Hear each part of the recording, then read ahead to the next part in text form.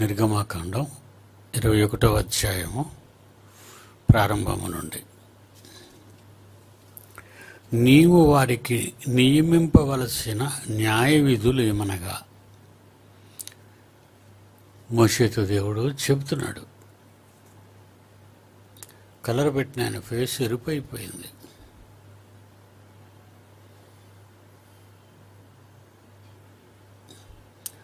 నీవు వారికి నియమింపవలసిన న్యాయ విధులేవనగా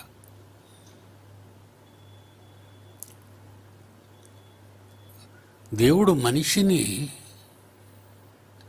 ఆజ్ఞలతో కట్టి ఉంచాలని సిస్టమ్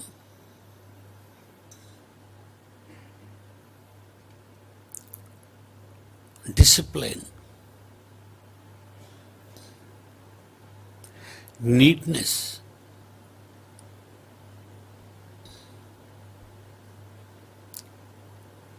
ఒక యజమాని తన ఇల్లును శుభ్రంగా ఉంచుకోవాలనుకుంటాడు.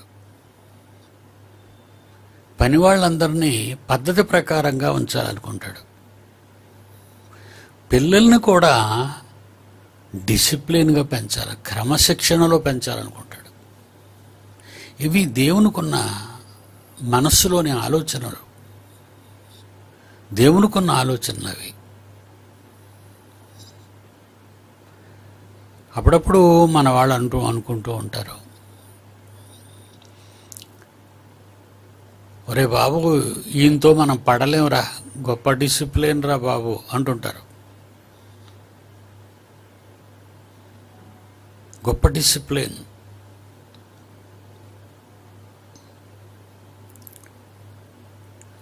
సిస్టమ్ అంతా ఒక పద్ధతి ప్రకారంగా ఉండాలి. అది మనుషులైనా చెట్లైనా జంతువులైనా పక్షులైనా కాలాలైనా.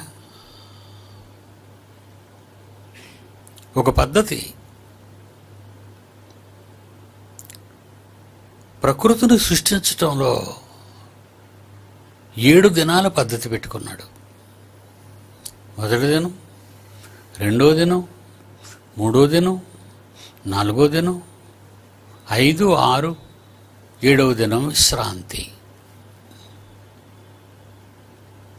అందుకే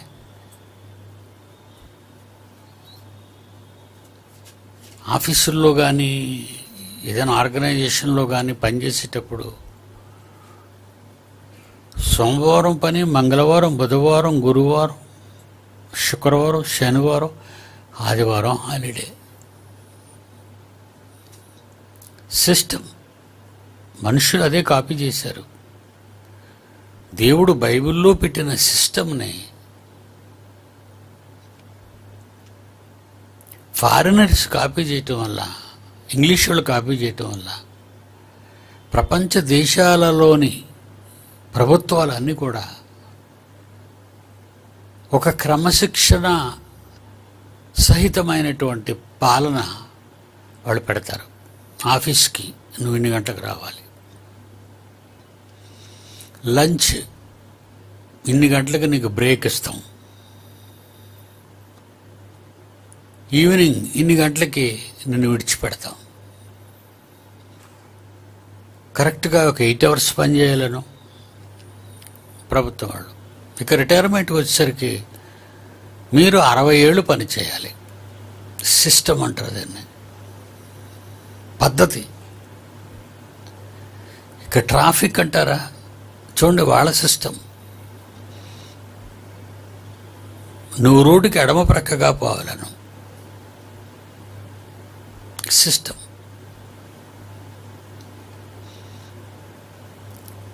దేవుడు సృష్టిని సృష్టించినప్పుడు కూడా భూమి నువ్వు ఇరవై నాలుగు గంటలకు నీ చుట్టూ నువ్వు తిరగాలి.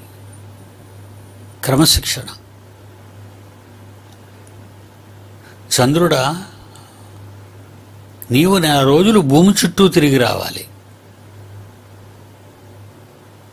క్రమశిక్షణ.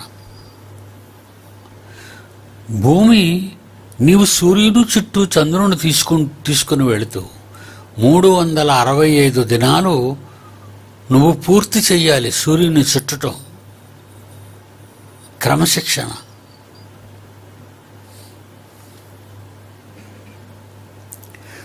వసంతకాలం చెట్లు పూయాలి. వర్షాకాలం వర్షాలు పడాలి. చలికాలం చలి రావాలి. వేసవికాలం ఎండలు రావాలి. కాలాలను ఏర్పాటు చేశాడు సిస్టమ్. ఈ క్రమశిక్షణ అనేది దేవునిలో ఉంది. మనిషి క్రమశిక్షణ తీసుకురాలేదు.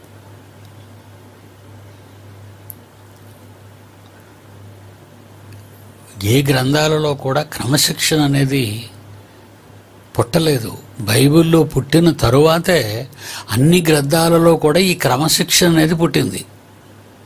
అన్ని దేశాలలో కూడా ఈ క్రమశిక్షణ అనేది ప్రవేశపెట్టారు.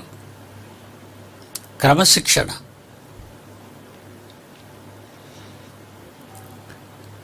పిల్లలు క్రమశిక్షణగా ఉండాలి. పనివాళ్ళు క్రమశిక్షణతో పనిచేయాలి. ఈ క్రమశిక్షణ జరగాలని యజమాని చూస్తూ ఉండాలి. కనుక దేవుని వలన కలిగిన ఈ క్రమశిక్షణ ఈ సిస్టమ్ అది యూనివర్సల్ సిస్టమ్ అవనవ్వండి హ్యూమన్ సిస్టమ్ అవనవ్వండి అనిమల్ సిస్టమ్ అవనవ్వండి అన్ని సిస్టాలు కూడా దేవుని వలన మానవాళికి కలిగాయి. వాళ్ళు అన్ని దేశాలలో ఉన్నవాళ్ళు ఈ శిక్షణను నేర్చుకున్నారు. ఒక పెరేడ్ గ్రౌండ్ చూడండి. ఆగస్టు పదిహేనుకి కానీ జనవరి ఇరవై ఆరును కానీ ఢిల్లీలో ఇతర రాష్ట్రాల్లో జరిగిన పెరేడ్స్ పోలీసులు సైనికులు నేవీ మిలిటరీ క్రమశిక్షణ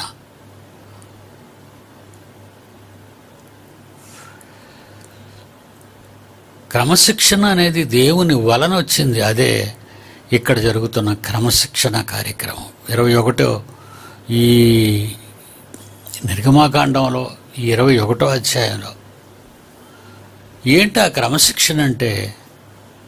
నీవు వారికి నియమించవలసిన న్యాయ విధులు ఏవనగా ఇస్రాయేలీలకి న్యాయ విధులు నేర్పించాలి. మోజెస్ ఎవరిష్టానుసారంగా వాళ్ళు తిరగటానికి కానీ ప్రవర్తించటానికి కానీ నేను ఒప్పుకోను.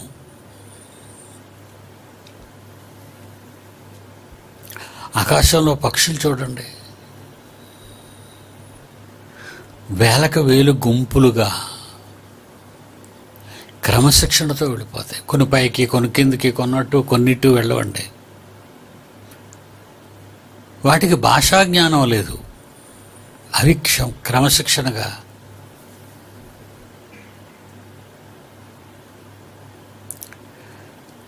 గొర్రెలు మేపే వాళ్ళని చూడండి మేకలు మేపే వాళ్ళని ఎక్కువగా మోదవలసలో కనబడతారు. గొర్రెలన్నీ ఆ యజమానితోనే వెళతాయి. ఆ పెంచిన వానితోనే వెళతాయి. భాషా జ్ఞానం లేని జంతువులవి. వాటి పుట్టుకలోనే క్రమశిక్షణ పెట్టాడు దేవుడు.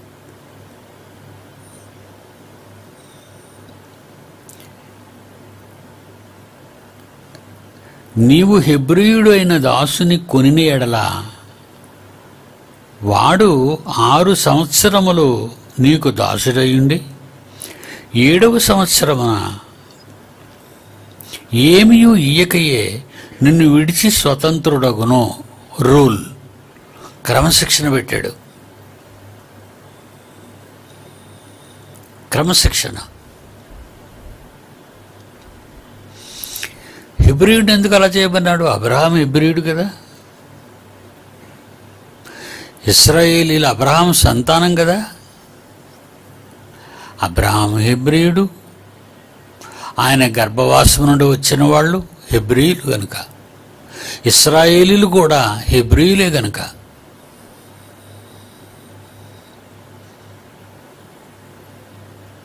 ఈ ఆజ్ఞ ఇస్రాయేలీలతో చెప్పమన్నాడు. ఏమని? నీవు హెబ్రియుడైన దాసుని కొనిన ఎడల వాడు ఆరు సంవత్సరములు దాసుడయుండి ఏడవ సంవత్సరమున ఏమయో ఇయ్యకయే నిన్ను విడిచి స్వతంత్రుడగును. కొనుక్కో. నీ ఇంట పని చేయటానికి కొనుక్కో. నీకు వంట చేయటానికి కొనుక్కో. నీ పొలం దున్నడానికి కొనుక్కో. నీ పనులన్నీ నిర్వర్తించడానికి కొనుక్కో యాజమాన్యం కార్మికులు అంటారు అందుకే. జీతాలు ఇస్తాడు యజమాని. కార్మికులు పని చేస్తారు సిస్టమేటిక్గా. వాళ్ళకి యజమాని ఇవ్వవలసిన జీతాలు తప్పనిసరిగా అనుకున్న తారీఖు ఇస్తాడు.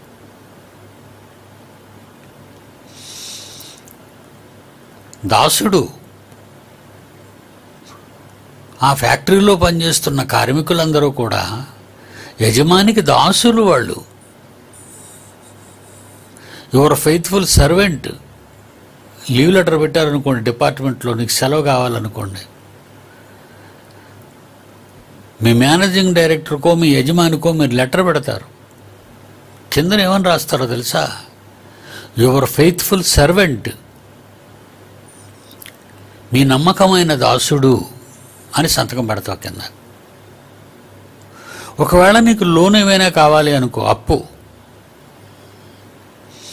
బ్యాంక్ నుండి కానీ యాజమాన్యం నుండి కానీ నీకు కావాలనుకో అప్లికేషన్ పెడతావు. కింద నువ్వు స- సంతకం చేసే మీద లైన్లో నువ్వు రాసేదేటో తెలుసా? మీకు నమ్మకమైన దాసుడిని. Your faithfully. యువర్ ఫెయిత్ఫుల్లీ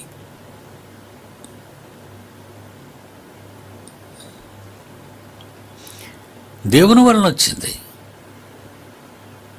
కనుక హిబ్రియులారా మీరు ఎవరినైనా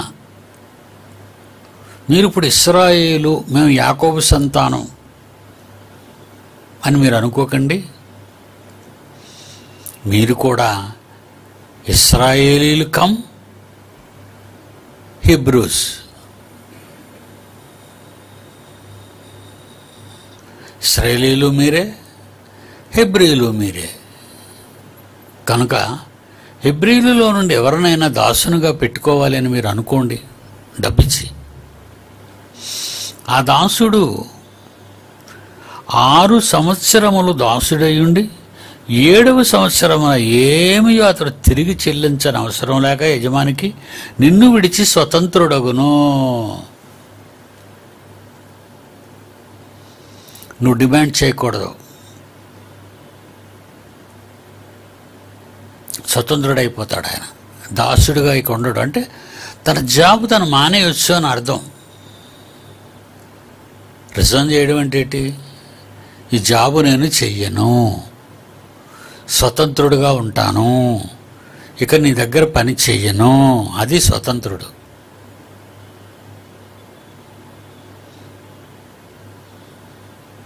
ఇప్పుడు ఎక్కువ ప్రైవేట్ కంపెనీలే. ఎక్కువ సాఫ్ట్వేర్లో కానివ్వండి హార్డ్వేర్లో కానివ్వండి ఎక్కువ ఇవి ఉంటాయి. కష్టం వచ్చినప్పుడు పని చేయలేనప్పుడు వీళ్ళు అంటారు మేము ఈ పని చేయలేకపోతున్నామండి. నా జాబ్కు నేను రిజైన్ చేస్తానంటాడు. యజమానులు ఒప్పుకుంటే ఒప్పుకుంటారో ఒప్పుకోకపోతే ఒప్పుకోరు. ఇప్పటి పరిస్థితుల్లో? ప్రైవేట్ కంపెనీలు కనుక అవి గవర్నమెంట్ ఫర్మ్స్ కావు కనుక వాళ్ళు బిగించవచ్చు కానీ దేవుడు అన్నాడు నువ్వు ఎవరినైనా దాసుడిగా తీసుకుంటే ఇస్రాయేలు ఆరేళ్ళు నీకు ఉడిగం చేస్తాడు. ఏడో సంవత్సరం అతడు స్వతంత్రుడు అవ్వాలనుకుంటే అయిపోతాడు. ఇకపోతే ఇస్రాయేలీల్లో కుటుంబాలు కుటుంబాలే హెబ్రీలు కుటుంబాలకు కుటుంబాలే హెబ్రీలు ఇస్రాయేలీలకు సేవలు అందించేవారు ఒక ఫ్యామిలీ ఫ్యామిలీ. అప్పుడప్పుడు పెద్ద పెద్ద వాళ్ళ ఇళ్ళలో మనం అబ్జర్వ్ చేస్తే ఒకటి కనిపిస్తుంటుంది. ఆ ఇంటి పని ఆయన మొక్కలకు నీళ్ళు పోస్తాడు కుక్కలను తిప్పుతాడు పువ్వులు కోస్తాడు మార్కెట్కి వెళ్తాడు. ఆ ఇంట్లో ఆయన భార్య ఈ పనివాని భార్య ఇంటిలో వంటలు చేస్తుంది. ఇంటి వారికి వడ్డిస్తుంది.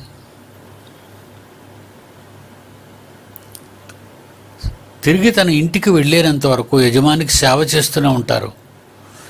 కొంతమంది యజమానులు గొప్పవాళ్ళైతే అయితే అవుట్ హౌస్లను కట్టించి ఇంటి వెనక భాగంలో అక్కడ ఒక ఇల్లు కట్టించి ఆ ఇంట్లో వాళ్ళు ఉంచుతారు. వాళ్ళ ఫ్యామిలీ అంతటనే. ఆయన్ని ఆయన భార్యని ఆయన పిల్లల్ని అదే చెప్తున్నాడు చూడండి ఇక్కడ. మూడవచనంలో వాడు ఒంటిగా వచ్చిన ఎడల ఒంటిగానే వెళ్ళవచ్చును. ఎవరు లేకుండా జాయిన్ అయ్యాడనుకో? ఎవరు లేకుండా ఎవరు లేకుండానే వెళ్ళిపోవచ్చు. వానికి భార్య ఉండిన ఎడల వాని భార్య వానితో కూడా వెళ్ళవచ్చును. నువ్వు మానేస్తే మానేసావు కానీ నీ భార్య నేను విడిచిపెట్టను ఈ పనిలో నుంచి తీసేయను అంటాడు. అలా అనకూడదు. దేవుని ఆలోచనలలో దేవుని పిల్లలైన వాళ్ళు అలా అనకూడదు. ఎందుకంటే అతడు దాసుడైన దాసుని కుటుంబం అతని భార్య అతని పిల్లలు ఆయన వారు కనుక ఆయన ఏది కోరుకుంటే అది శాంక్షన్ చేసేమన్నాడు ఇచ్చేమన్నాడు వాడు ఒంటిగా వచ్చిన ఎడల ఒంటిగానే వెళ్ళవచ్చును. వానికి భార్య ఉండిన ఎడల వాని భార్య వానితో కూడా వెళ్ళవచ్చును. వాని యజమానుడు వానికి భార్యనిచ్చిన తరువాత ఆమె వాని వలన అక్కడ పనిచేసిన కాలంలో కుమారులనైనను కుమార్తెలనైనను కనిన పక్షమందు ఆ భార్యయు ఆమె పిల్లలను ఆమె యజమానుని సొత్తగుదురు గాని వాడు ఒంటిగానే పావులను. ఇక్కడ ఒప్పుకోలేదు. ఇక్కడికి వచ్చాక కదా కన్నావు. నా ఇంటిలో కదా కన్నావు. నా కష్టంతో కదా కన్నావు. నా క్యాంపస్లో కదా కన్నావు. నువ్వు ఒంటిగా వెళ్ళవచ్చు. కానీ నీ ఫ్యామిలీ నా దగ్గర పుట్టి పెరిగింది. కనుక వాళ్ళను నువ్వు తీసుకెళ్ళకూడదు. మరి దీని ఉద్దేశం ఏంటి? అలా విడిచిపెట్టకపోతే అతను కూడా ఉండిపోవాలని. అందరూ. ఇప్పుడు నేనున్నాను అనుకోండి నా పిల్లలు అక్కడ చాలామంది ఇక్కడ పని చేస్తూ ఉంటారు. వాళ్ళకి అన్నీ ఇస్తాను.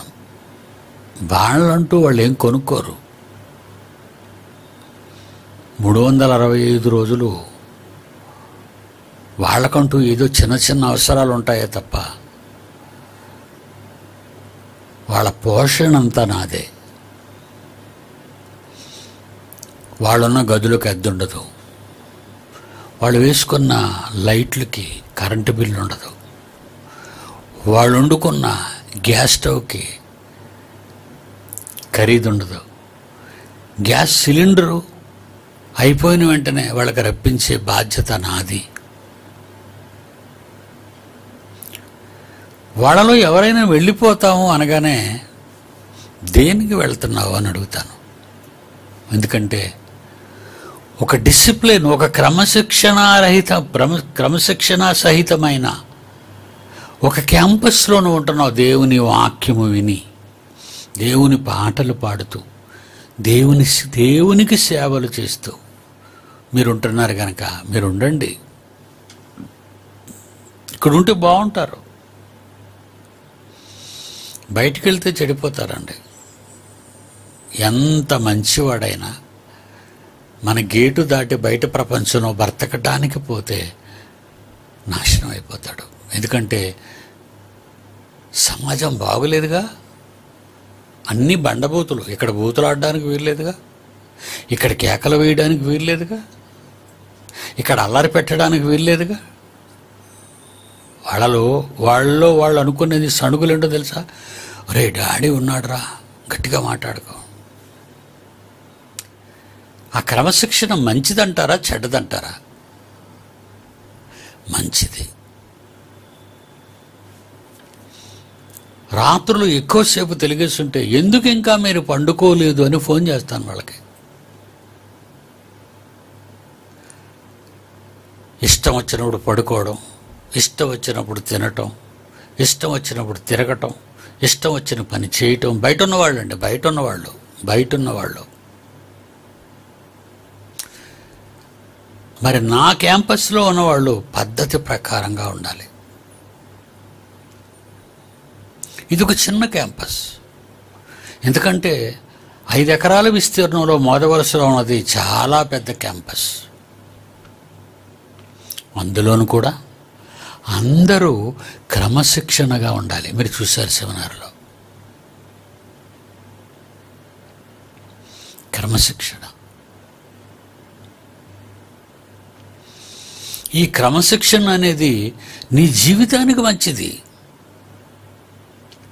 ఇక్కడ తాగడాలు పేకాటలు మత్తు మందులు చెడ్డ మాటలు బూతులు సరసోక్తులు. ఇక్కడ మాట్లాడడానికి అవ్వదు ఎవరు. చెప్పేస్తారు డాడీకి. భయం. అది వాళ్ళకి మంచిదండి.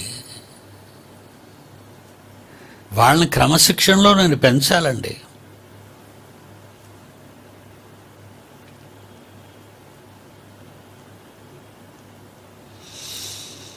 ఆ జాన్సన్ గాడు చిన్నోడు మీకు తెలుసు కదండి. వాళ్ళ అమ్మ నాన్న చిన్నోడండి వాడు. చిన్న నిక్కర్లు వేసుకొని చిన్న చొక్కా వేసుకొని ఉండేవాడు. వాళ్ళ అమ్మ నాన్న తీసుకొచ్చారు నా దగ్గరికి. డాడీ వీడిని మీ దగ్గర ఉంచండి డాడీ.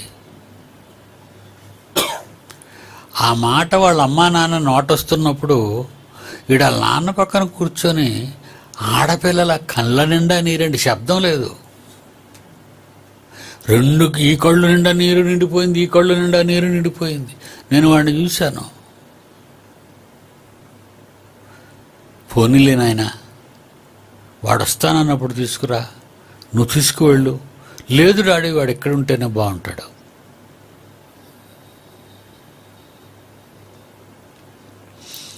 ఇప్పుడు వాళ్ళ అమ్మా నాన్న వచ్చి నువ్వు రారా అంటే నేను రాను అంటాడు.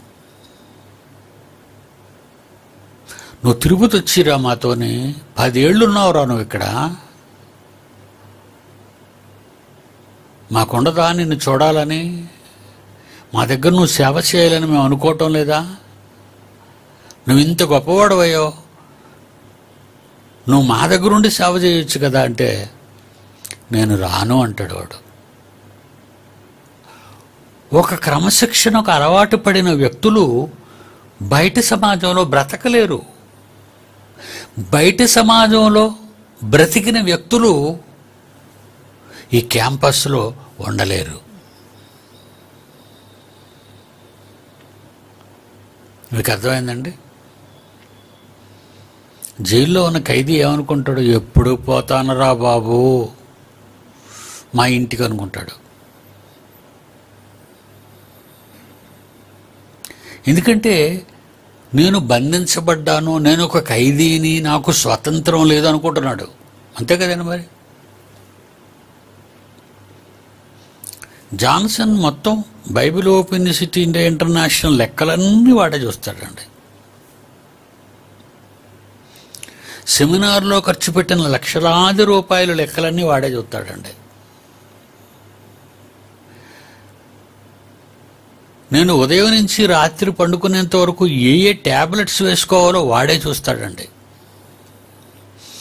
ఇక డాక్టర్ దగ్గరికి నన్ను వెళ్ళనివ్వడండి. వాడే ఫైల్ పట్టుకొని డాక్టర్ దగ్గరికి వెళ్ళిపోతాడు. వాడు చూడండి ఎంత గొప్పవాడుగా మారిపోయాడు. డాక్టర్ అడుగుతాడు మీ తాతయ్యకి ఈ ట్యాబ్లెట్లు ఎప్పుడు రాశాను? అంటే టక్కున డేట్ చెప్తాడండి. మందు పేరు చెప్తాడండి. ఇంట్లో నూనె డబ్బాలు అయిపోతే ఇంట్లో బియ్యం బస్తాలు అయిపోతే వెంటనే కిరాణాకి ఫోన్ చేస్తాడండి. నాతో చెప్పడండి. తాతయ్య బియ్యం అయిపోయి బియ్యం బియ్యం చెప్పమంటారని అడగడు. వాడన్ని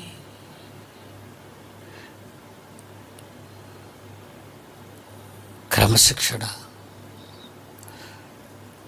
వాడు బయటికి వెళ్ళి ఊరి మీద ఎక్కడో తిరిగేసి రాత్రి పన్నెండు గంటకి వెళ్ళి చేరితే వాడిని నేను ఉంచగలనా? వాడు నా దగ్గర ఉండగలడా?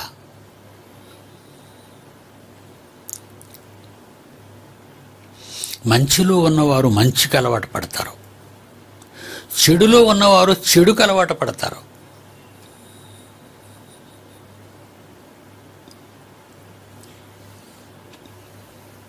అప్పుడప్పుడు చాలా కాలం నుంచి పడున్న రాళ్ళు ఉంటాయి అప్పుడు కనబడుతుంటాయి మనకి అక్కడక్కడ. ఆ రాయిని అలా తొయ్యండి? కింద నుంచి పురుగులు విలవిలా విలవిలా అని బయటకు వచ్చేస్తాయి. దాని కింద పురుగులు ఉన్నాయి. అవి చీకటికి అలవాటు పడినవి. అవి చీకటికి అలవాటు పడ్డాయి. వెలుగులో తిరగవు.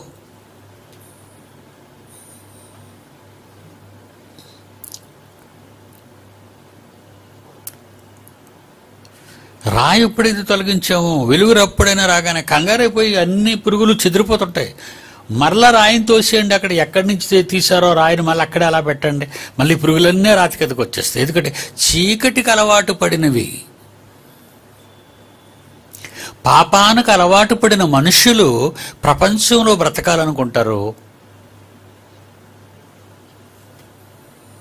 దేవుని ధర్మానికి అలవాటు పడిన వాళ్ళు దేవునిలో బ్రతకాలనుకుంటారు.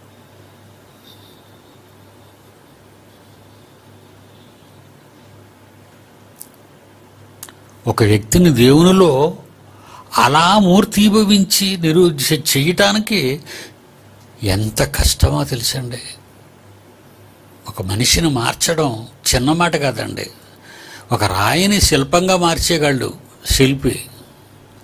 ఒక మట్టితో చక్కని బొమ్మను చేయగలడు.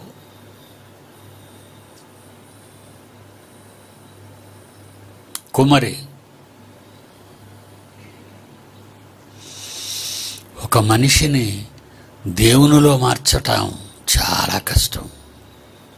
ఒకటి యజమాని జీవించాలి. పద్ధతి ప్రకారంగా బ్రతకాలి.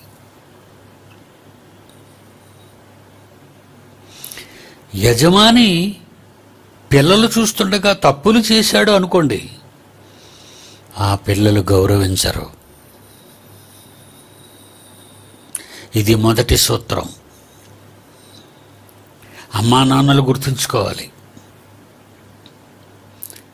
భార్యాభర్తలైన మీరిద్దరూ కుటుంబంలో మంచి మాటలతో మాట్లాడుకుంటూ ఉంటే పిల్లలు మంచిని నేర్చుకుంటారు. వాళ్ళిద్దరూ బూతులు మాట్లాడుకుంటుంటే బూతులు వింటారు నీ ఎదురుగా మాట్లాడరు. వీళ్ళకి అన్నీ తెలిసిపోతే తెలుసండి?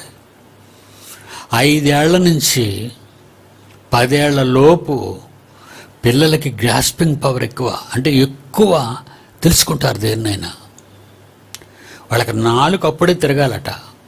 వాళ్ళ మెదడు అప్పుడే పని చేయాలట. వాళ్ళ ఆలోచనలు అప్పుడే పుట్టాలట. శాస్త్రం అంటుందండి. శాస్త్రజ్ఞులు అంటున్నారు నేను కాదు.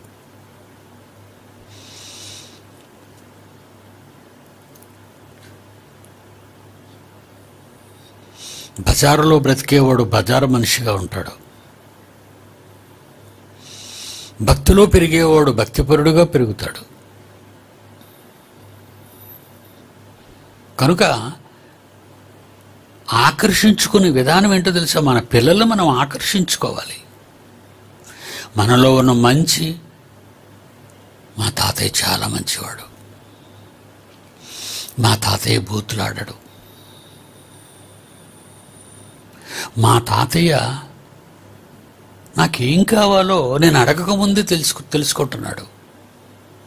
మా తాతయ్య భోజనం టైంకి టేబుల్ దగ్గర కనబడకపోతే ఫోన్ చేస్తాడు. ఇవన్నీ కూడా మంచి అలవాట్లు యజమానికి ఉన్న మంచి అలవాట్లు. మన పిల్లలను కూడా మనం అలాగే పెంచాలి పెంచకపోతే వాళ్ళు పనికిరారు. అది ఇంటిలో ఉన్నప్పుడు మీరు చూపి చూపించినంత వరకే. కాక బయటికి వెళ్ళారంటే మీరు వాళ్ళని పట్టుకోలేరు. పన్నెండేళ్ళ బడిపిల్లల దగ్గర వ్యభిచారానికి దాంపత్యానికి ఉపయోగించే కండోమ్స్ దొరుకుతున్న పిల్లల బ్యాగ్ సంచుల్లో. మత్తు మందులు దొరుకుతున్న పిల్లల బ్యా బ్యాగుల్లో స్కూల్ బ్యాగుల్లో.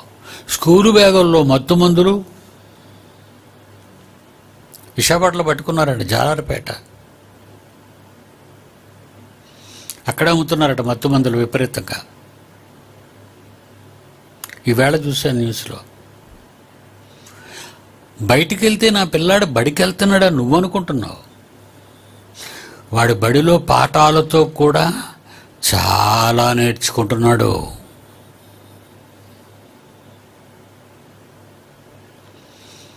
కనుక దేవుడు అందుకే పిల్లల విషయంలో తల్లిదండ్రులతో ఏమన్నాడో తెలుసా? నువ్వు వెంట కూర్చున్నప్పుడు నువ్వు లేచినప్పుడు నువ్వు త్రోవను నడిచినప్పుడు పండుకొనినప్పుడు దేవుని వాక్యమునే చెప్పవలెను. వాటిని వాటిని గురించి చెప్పాలి దేవుడి గురించి. నా పిల్లలందరినీ నా చుట్టే పడుకోబెట్టుకుంటానండి.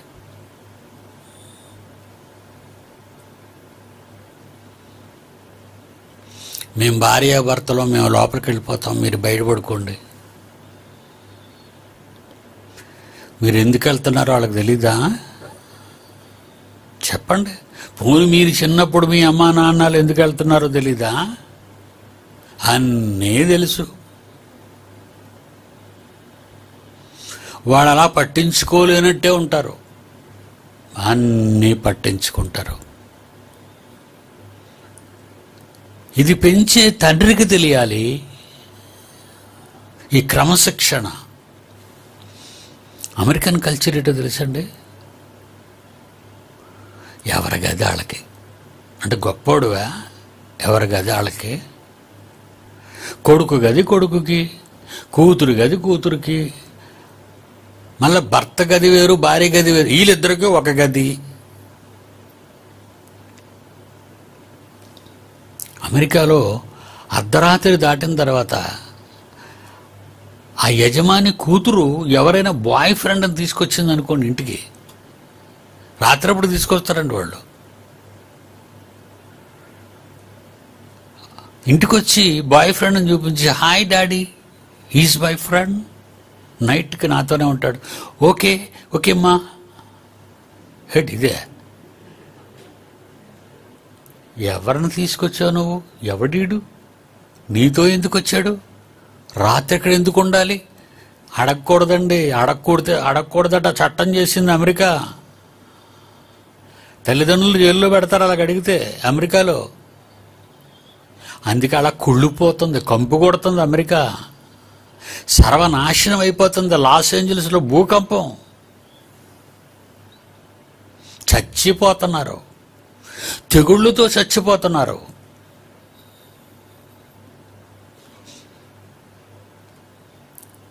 దేవుని పిల్లలారా క్రమశిక్షణ తప్పకూడదు. ప్రకృతిలో ఉంది క్రమశిక్షణ. జంతువులలో ఉంది క్రమశిక్షణ. పక్షులలో ఉంది క్రమశిక్షణ చేపలలో ఉంది క్రమశిక్షణ. మనుష్యులో లేదు మనుష్యులలో లేదు క్రమశిక్షణ. కల్చర్ అనుకుంటున్నావా? దిక్కుమాలి కల్చరు ట్రెండ్ అంటావా? దానికి పెట్టిన కొత్త పేరు. ట్రెండా ఏంట్రా నీ మొహం ట్రెండ్ పాడైపోవడానికి నీకు ఒక ట్రెండా నీ చెడ్డి చింపుకోవడం ట్రెండా నీ ప్యాంట్లు పొట్టి చేసుకోవడం నీకు ట్రెండా అంతకుముందు నేరో కట్ ఉండేది. నేరో కట్ నుంచి బెల్ బాటం వచ్చింది. బెల్ బాటం నుంచి నార్మల్ ఫిట్నెస్ డ్రెస్సులు వచ్చాయి. ఇప్పుడు ప్యాంటు పైకి వెళ్ళిపోతుంది ఏంటంటారు ఆయన? Ankle fit ankle fit ankle ankle fit ankle fit అట దాని పేరు. ఎవడ పెట్టాడు పాపిస్టోడా పేరు? అలాగని నీ ప్యాంట్ మీదకి ఎక్కేసుకు ఎత్తేసుకుంటావరా?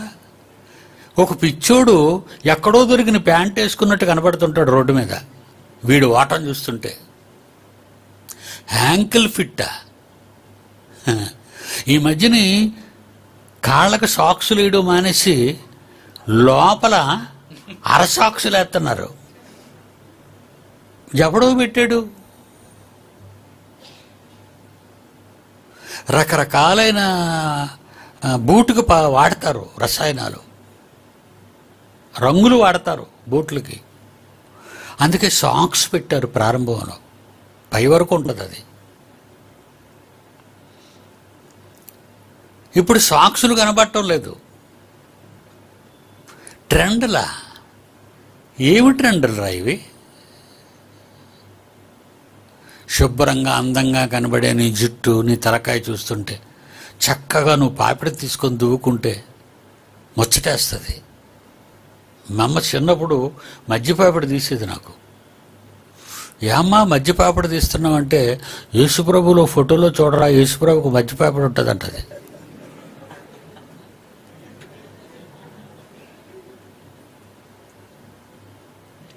ఇప్పుడండి బుర్ర నిండా పాపిడ్లే అన్ని గీతలే. అడ్డ గీతలు నిలువు గీతలు బొమ్మలు ఆడపిల్లల బొమ్మలు జంతువుల బొమ్మలు. పిచ్చిక్కురు పిచ్చోళ్ళ ఉన్నావురా రోడ్డు మీద పడిన పిచ్చోళ్ళ ఉన్నావు. ఏంట్రా ఇదంటే ట్రెండ్. క్రమశిక్షణ లోపించినప్పుడు జరుగుతున్న ఘోరాలండి ఇవన్నీ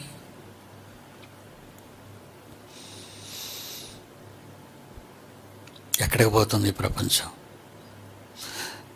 నాశనానికి పోతుందండి. ఎక్కడికో పోతుంది అనకూడదు. నాశనానికి పోతుంది. నాశనానికి. ఈ క్రమశిక్షణలో దేవుడు అంటున్నాడు ఐదో వచనంలో అయితే ఆ దాసుడు నేను నా యజమానుని నా భార్యను నా పిల్లలను నేను నా యజమానుని నా భార్యను నా పిల్లలను ప్రేమించుచున్నాను. నేను వారిని విడిచి స్వతంత్రుడినై పోనొల్లని పోనొల్లనని నిజముగా చెప్పిన ఎడల వాని యజమానుడు న్యాయాధిపతులను యొద్దకు వాని తీసుకొని రావలను. మరియు వాని యజమానుడు తలుపునొద్దకైనను ద్వారబంధమునొద్దకైనను వాని తోడుకొని పోయి వాని చెవిని కుదురుతో గొచ్చవలను. తరువాత వాడు నిరంతరము వానికి దాసుడయుండును. చెవి మీద కాల్చేయమన్నాడండి. ఉంటానంటే మరి నాకు గుర్తుగా నా దగ్గర ఉంటానంటే నీ దగ్గర ముద్ర ఉండాలిగా? మరి అప్పుడప్పుడు నేను వెళ్ళిపోతానంటే సాక్ష్యం ఏది? లేదండి నా భార్య పిల్లలు నేను వదిలి వెళ్ళను. నేను కూడా మీ దగ్గరే ఉండిపోతాను అని అన్నాడు అనుకోండి. అప్పుడు న్యాయాధిపతుల దగ్గర తీసుకెళ్ళి కాలుతున్న కుదురుతో చెవి దగ్గర కాల్చమన్నాడు. కడుపు నొప్పి రాకుండా కడుపు మీద సొరకలు వేసేసేవారు నా చిన్నప్పుడు. అలాగే టీకాలు వేసేటప్పుడు పైన కిందని కాల్చేసేవారండి. కొంతమందికి తలనొప్పి ఎక్కువగా వస్తుంది. ఇక్కడ ఇక్కడ కాల్చేసేవారండి కొంతమందికి చెంపలు కాల్చేసేవారండి బాగా తెలుస్తుందండి. ముప్పై ఏళ్ళు వెనక్కి వెళ్తే తెలుస్తుంది. ఆరోగ్యం కోసం. కాల్చడం అంటే వాళ్ళని ఇబ్బంది పెట్టడం గురించి కాదండి. వాళ్ళలో ఉన్న రోగాలు తీసేయటం కోసం. దేవుడు ఆ యజమాని దగ్గరే మీరు ఉండాలి అనుకుంటే ఆయా ఆ ఓనరు ఆ పని పెద్ద పనివాడు తన భార్యని తన పిల్లలతో పాటు తను కూడా అతని దగ్గరే బ్రతకాలని అనుకుంటే అతనికి ఒక మచ్చ వేయాలి. మార్కు వేయాలి. సింబల్ వేయాలి. దేవుని పిల్లలారా సంస్కారవంతమైన ఆలోచనలతో క్రమశిక్షణ సహితమైనటువంటి ఆజ్ఞలతో దేవుడు తన పిల్లల్ని సంరక్షించాలని మోషే ద్వారా ఇస్రాయేలీలకి ధర్మశాస్త్రాన్ని ఇస్తున్నాడు. నేను మీకు చెప్తున్నానా ప్రతిసారి? ఇదంతా లా చట్టాన్ని మీకు చెప్తున్నాను. అది దేవుడు రాయించిన చట్టం. నేను అనుకున్నది ఏం కాదండి. నేనేదో ఆలోచించి ఇలా చేయాలని నేను అంటున్నది ఈ మధ్యన మన ఆడవాళ్ళు ఒక తప్పు చేశారండి. లేడీస్ మీటింగ్ వాళ్ళు. నన్ను అడగలేదు పుడగలేదు. అందరినీ ఆధార్ కార్డులను రేషన్ కార్డులు అడిగారట తీసుకురా మన జెరాక్స్ కాపీలు. చాలా బాధ అనిపించిందండి. ఎవరిచ్చారు నీకు ఈ సలహా? నువ్వెవరు ఆధార్ కార్డులు రేషన్ కార్డులు అడగడానికి పిల్లల్ని? వాళ్ళు దేవుని పిల్లలుగా ఉంటే మన దగ్గరే ఉంటారు. వారు దేవుని పిల్లలుగా ఉండకపోతే మన దగ్గర నుంచి పోతారు. వాళ్ళు రావటానికి అనుమతి లేదు వారు వెళ్ళటానికి అనుమతి లేదు. వాడిష్టం రమ్మనండి. మంచి వినటానికి వస్తే రమ్మనండి. మేము వినము అంటే వెళ్ళమనండి. ఇది స్వతంత్రత కలిగిన సంఘం.